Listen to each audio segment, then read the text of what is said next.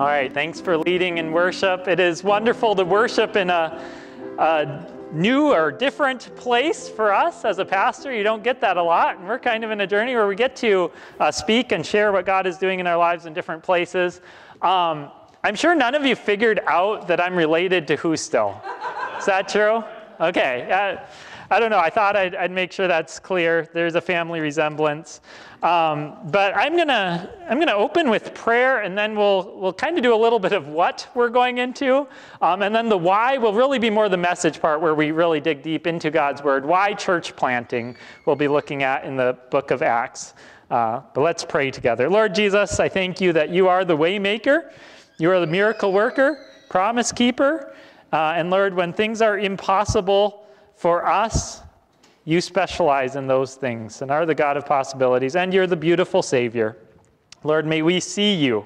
May we see you clearly this morning, each and every day, in uh, the creation that you have made and in your word that you have written for us and revealed yourself to us. We pray this now. Uh, go before us. In Jesus' name, amen. All right, so I'm going to start with the what, um, and then kind of as we go into the message, you'll understand why uh, something like this has been laid into our heart a little bit more. Um, we've already been introduced. Um, my wife, Julia, grew up in northern Minnesota. In fact, uh, Pastor Tom was up there for some time, and there's a connection there as well. I grew up in western Wisconsin. These are our sons, uh, James and Benjamin. James is three years old, and Benjamin turned one just last Sunday. We had a celebration after the, the church service in a park. Uh, so, what, what are we doing? This is our concise statement of uh, what we are talking about, and I'll, I'll reference right now too. Uh, we've got a trifold brochure um, that kind of goes into more detail of what we're doing and a prayer card. One side says pray for the Pillmans, the other side says pray for Ankeny, where we are going. And those are right outside the door here. So if you want to grab those, please do. Uh, we had a mess up in printing where they printed twice as much as we wanted. So take, take what you want of those, no problem. Here's, here's the mission, though uh, reaching precious souls in Ankeny, we'll talk about where that is, with the precious hope of Jesus' forgiveness. And really, our heart is what is, what is a church about? And we'll talk about this more, but it can be boiled down to reaching souls with the hope of Jesus' forgiveness. Can't it? That's what we're here to hear about, to be reminded of, of Jesus and what he has done for us.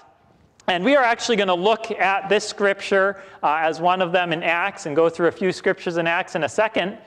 But uh, note here, it says, You will receive power when the Holy Spirit has come upon you, and you will be my witnesses in Jerusalem, in all Judea and Samaria, and the ends of the earth. Uh, that talks about a lot of regions and doesn't leave any of them out, right? It's not just here, it's not just across the state or just across the world, it's all of them. Yes, to all of those, right? Um, this, there's lots of statistics that go with this as we talk about church planting and why, but to say it simply, church planting is the most effective means of evangelism. And uh, some of the statistics that, that go with that, um, I guess I don't have on the screen, that's okay, but um, 80% of converts in most denominations, multiple have done these studies, um, those happen that are tracked in the first two years of a congregation being born. Um, in fact, new members, often when you talk about church planting, people think, oh, you're going into an area, you're gonna, there's good churches there, and you'll take those, those sheep. Sheep stealing is talked about. It's not about sheep stealing primarily, it's about reaching people with, with the hope of Jesus' forgiveness. Um, and something that, a number that talks to that is most church plants, 60 to 80% of the new members in the first five years are previously unchurched. Now, maybe believers, but don't have a church family. In an existing church, usually that's 10, maybe 20% of new members are, are previously unchurched. So it's a unique context to reach unbelievers. Uh, as we talk about what, uh, we'll talk about where we're going. Um, first step, and we'll talk about this in a second, actually will be residency, so we'll be in San Antonio, but our heart is for the region of Ankeny, Iowa. Has anyone does anyone recognize the name of that town? Okay, got a few, kind of. Um, northern Des Moines, it's an extremely fast growing area. um, which adds to the strategicness of it. But the thing that brought it to our attention first was last July, about a year ago. Uh, every week throughout that month, uh, we kept hearing of people that were there looking for a congregation or would be there looking for a congregation. Um, Julia's aunt and uncle actually are there as well, and have been asking us. Um, and so the Lord kept bringing before us an area, and it so happened that our church in Pipestone was uh, looking to plant churches. They felt this call, this leading on their heart, at least some in it. I wouldn't say maybe everyone. Um, and so we looked at two local areas around Pipestone, Minnesota. For various reasons, it didn't make sense there. And so we came to them and said, hey, is this a God thing or isn't it? That God's laid this place on our heart. It is strategic in the sense that uh, it's doubled in size in the last 15 years, from 35,000 to 70,000 people in that town. Just crazy population growth. Actually, the fastest growing region, often in, in the Midwest, is right there uh, in Iowa. Iowa, of all places, right? Okay. Uh, but as I already said, um, there's a potential then for the gospel and church planting, right?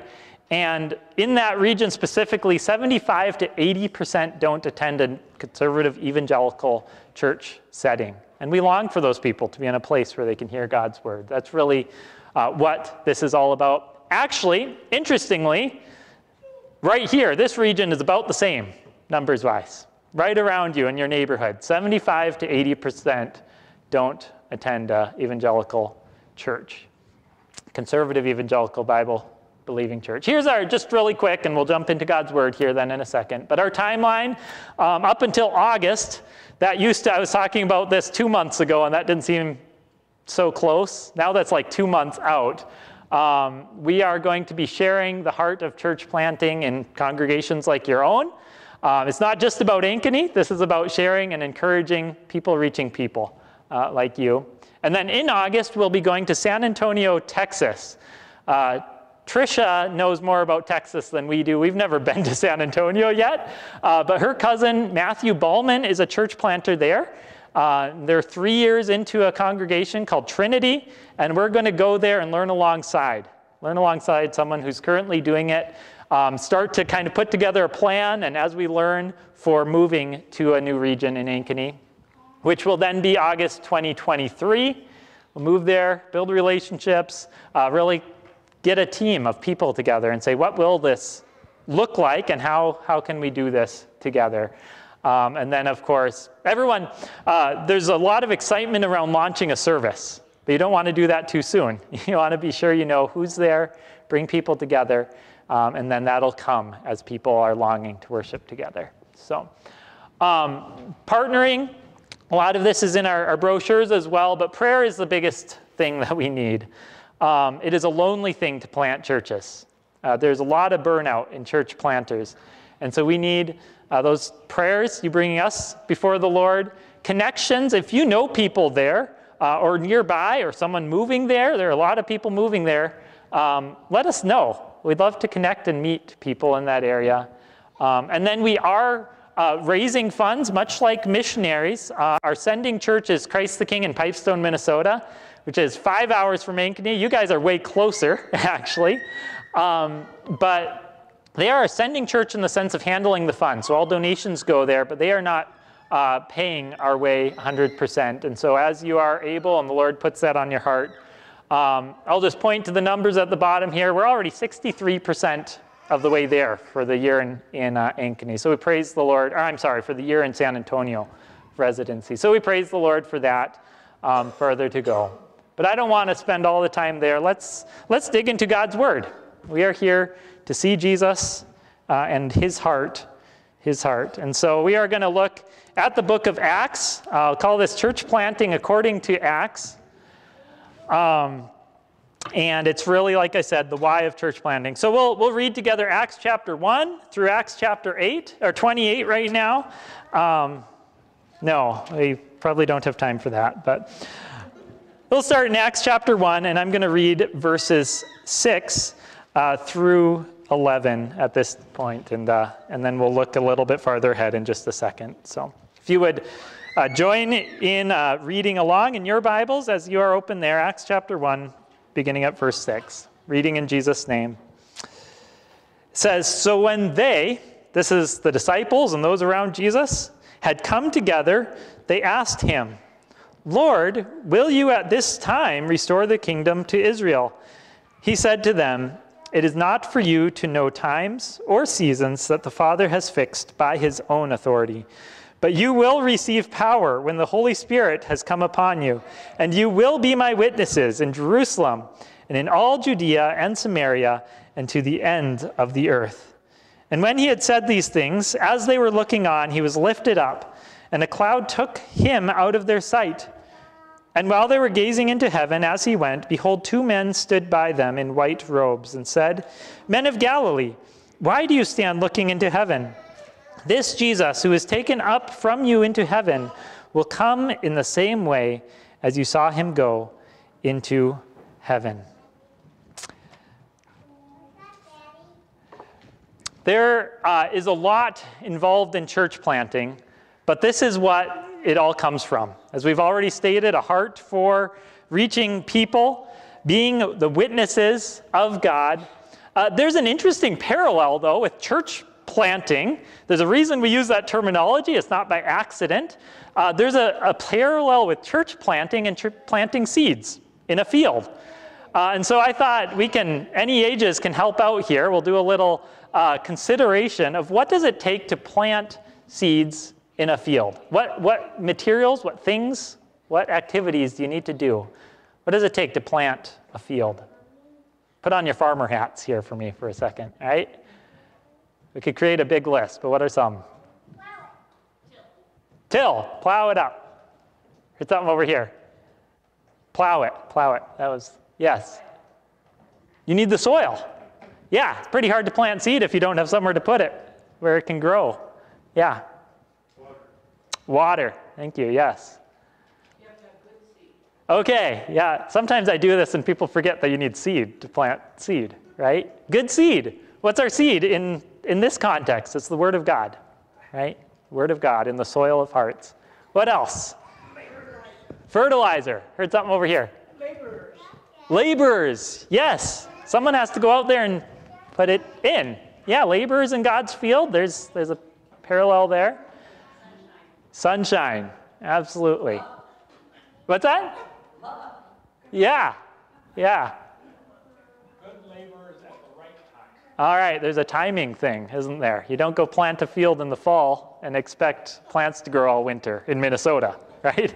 There's a location and a timing issue that is important here. So maybe tractors this day and age, horses back in the day. Uh, we could create a longer list. Uh, but kind of note as we go through here, there, there are pieces of this. And, and uh, the picture that I'd have for you of what we're doing right now is uh, maybe taking a, a, high airplane view of the book of Acts and the, the church planting that was happening there. Um, we're kind of looking from a distance at church planting. And at the end, we'll, we'll consider more individually, close up, what it might mean for us. So, church planting, here's a few more stats. I know I've hit you with some already. There are 156 million unchurched people in the United States. Could be dechurched, unchurched. Um, 156 million. This number actually in my brochure says 140 million. I was a couple years old in that. So this number just keeps going up exponentially. Uh, 38 million dechurched, had been in a, a, stable church family just in the past 10 years. I'm a, I'm a Canadian citizen. This is more than the population of Canada, has been dechurched in the United States in the last 10 years. Also, we see that uh, 3,500 to 4,000 churches close their doors every year. Uh, there are about 1,500 planted, but the population is going up. There's a need for Bible preaching, believing uh, groups, congregations of individuals in the U.S. Just a few more, and I, will keep moving through these. Um, I said this one 80% of new converts are from churches, uh, generally speaking, uh, two years old or less. And then 60 to 80% of new churches were from uh, new, new members to church, churches uh, in church plants um, were previously unchurched. How about this last one? How many churches were church plants in their lives? 100%, right? Yeah, everywhere has started from somewhere, had to be brought together, gathered around the word. Uh, your church was once a church plant. It's near and close to each of our hearts. So let's let's dig in here to Acts. I already read this, Acts 1, 6 through follow, following. Um, it's familiar to us. It's familiar to us uh, in the sense of the ascension and in Jesus leaving. Uh, maybe even more familiar as a great commission is the end of, of Matthew, the book of Matthew, when Jesus says, Go therefore and what? Make disciples of all nations, baptizing them in the name of the Father, Son, and the Holy Spirit, teaching them to observe all that I have commanded you, and lo, I am with you always, even to the end of the age. These are, and here in Acts, these are our last words recorded of Jesus while on this earth. Last words recorded of Jesus while on this earth. And uh, I, I remember clearly, so I'm the youngest of six kids, and I remember one of the first times, maybe the first times, that my parents left us for an extended time, for a week, a little over, on a missions trip.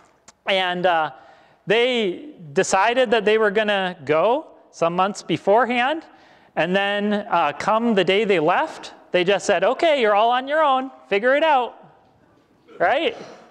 Some of you are laughing as parents. There was a lot of planning that went in, and there was instructions written out, detailed, of what everyone was going to do while they were gone. There was a commission of sorts in what we were called to do. And uh, this, this is the same for as Jesus left. Now, I think for my parents, there was a lot of fear in it, right? What could go wrong? There were five boys home on their own one sister trying to cook the meals for everyone. Uh, what could possibly go wrong with that, right?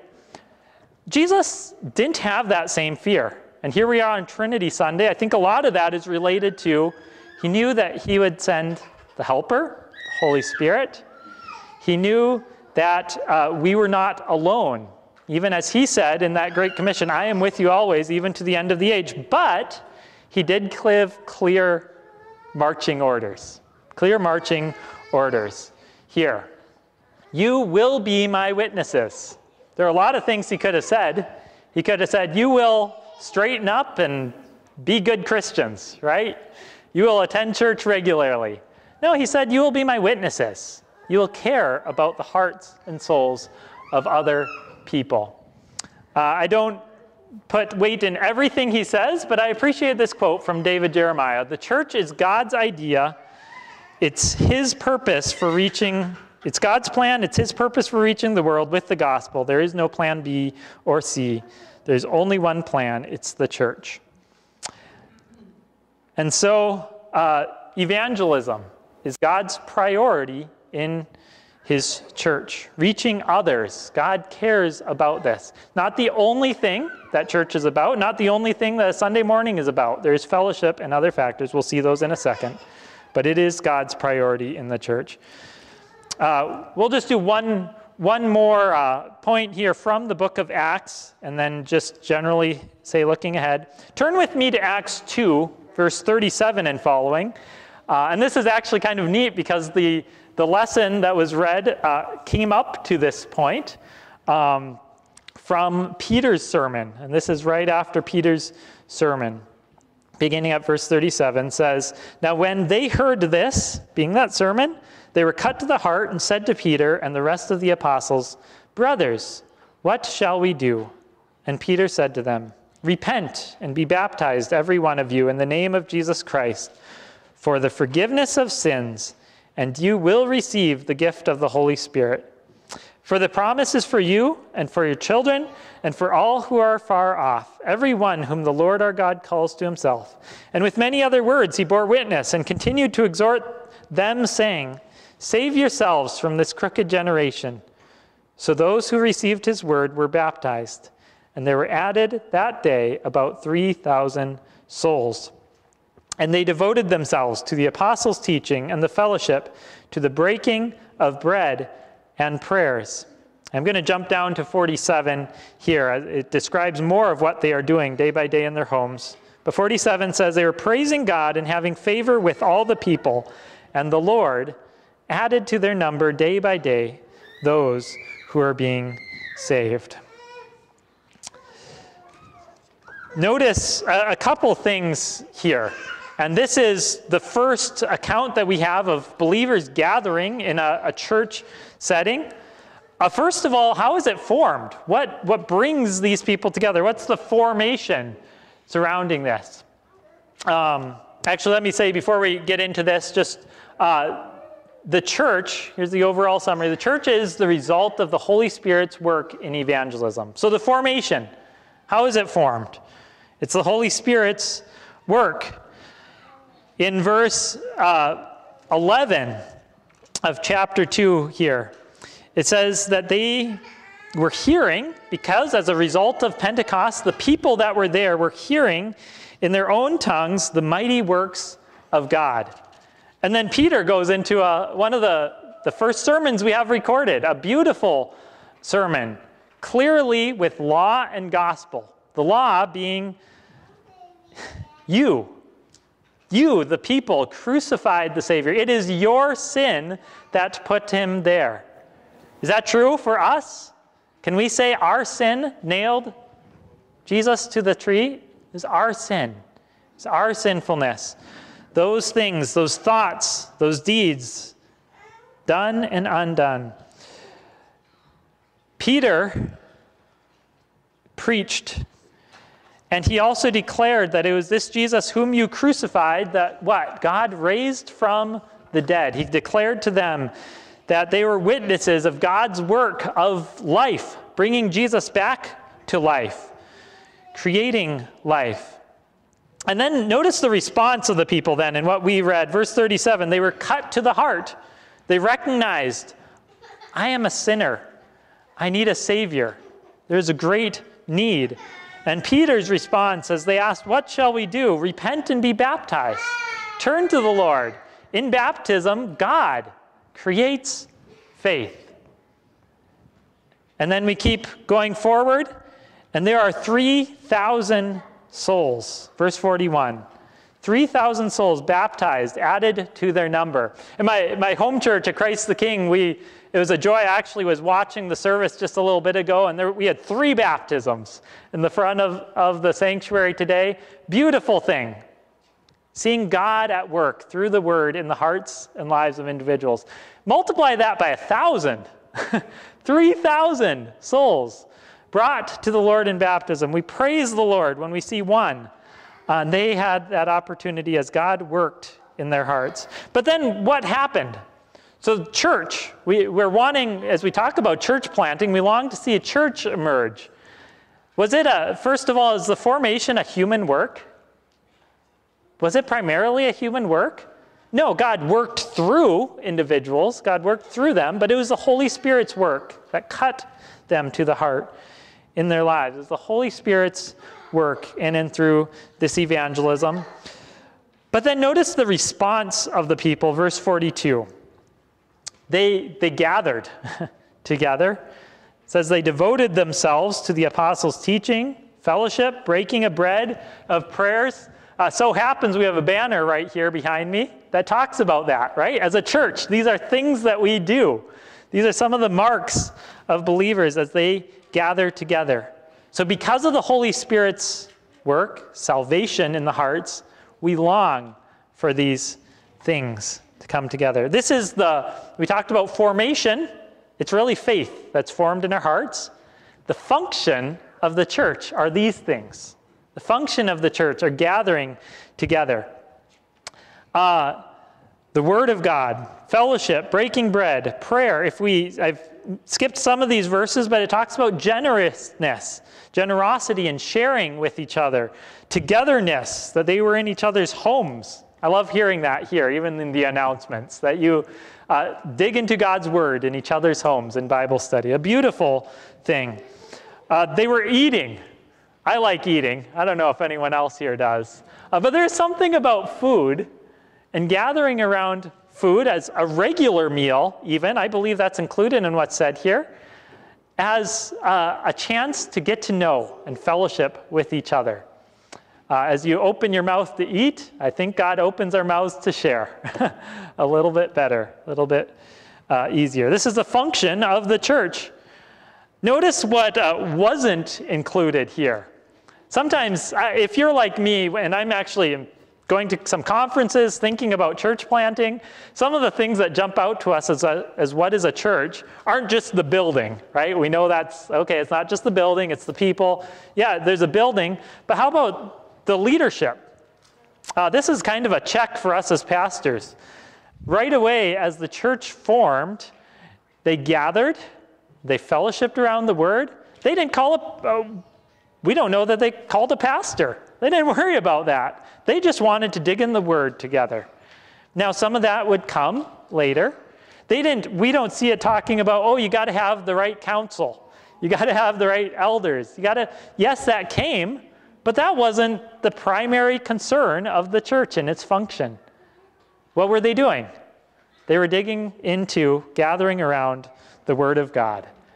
And isn't that, I pray that's the heart of you as a church us as individuals that we simply want to know Jesus more. That as we have, our hearts have been cut by the law, recognizing our sin, that we simply want to G, know Jesus more. It is God's work, it is the Holy Spirit's work. Jesus says as well in Matthew 16, 18, I will build my church. And then there's a promise that the gates of hell will not, shall not prevail against it. I, I uh, share this as uh, to a congregation, to a people that gather as a church, and in considering uh, planting a congregation. That this is God's idea to reach other people, to evangelize, as we saw in the first point, and that it is God's work. It is God's work. I pray that you long for more to, to be here in your midst, not to boost the numbers, not to boost the, the budget, but simply that they would know Jesus. But remember, it is God's work, God's work in and through us as we faithfully share God's word. And this is where it, it becomes more uh, personal for us. I talked about kind of the 10,000 foot view, flying in an airplane, watching the, the planters down below, the tractor or whatever it is in the field. But God calls each and every one of you into the work of sharing the gospel, sharing the gospel, and of planting. Uh, if we had more time, I would have gone into Acts chapter 16. Uh, and that's where Paul is planting a church in Philippi, sharing the word, and God's call into the work, the Macedonia call there. But here's, here's what I want to leave you with today. And this is Romans 8. Paul, a church planter, a familiar verse says that we know that for those who love God, all things work together for good, for those who are called according to his purpose. Who is called? Who is called according to God's purpose? Who are called to faith? The believers, the church. You are the church as you place your trust in Jesus Christ and who are called then to be witnesses. This isn't some special, unique calling. It's not just the missionary or the church planter that is called into this. It is clearly the one that has been filled by the Holy Spirit. And we believe clearly, as Scripture teaches, that the ones who are filled with the Holy Spirit are those who place their trust, who know Jesus as their Lord and Savior. And so don't just uh, stay up there in that 10,000 foot view watching the planter down below. You are called to plant the seed of God's word. Put here, okay, church, it's time to plant. Time to plant the seed of God's word. The location, the who, right? And the where and the when, that God will make clear as you are faithful, as God puts in your heart to plant churches. God has made it somewhat uh, clear for us. We don't know the individuals yet. We know a location, Ankeny, Iowa. We know it is God's word we carry with us. But I pray that God would make that clear for you as well. those individuals in your life, your workplace, in your living place, wherever you go, your call, your call is to plant God's word. Let me close in prayer. Lord Jesus, I thank you as we just get a glimpse into God's call on the hearts and lives of those he spoke to before he left this earth. I pray that you would remind us as well that it is your call and your work in ministry to place us in a field where we may plant and share clearly the Word of God. Thank you for this church. Thank you for Minnesota Valley and the things that you are doing here. Thank you for the individuals here and how you are working in their hearts through your Holy Spirit. And we thank you that we can trust you each step of the way, knowing that you are with us always, even to the end of the age. We pray all these things in Jesus' name. Amen. Thank you for worshiping with us today. For more information or to contact us, please visit us on the web at mnvalleychurch.org or find us on Facebook at Minnesota Valley Church.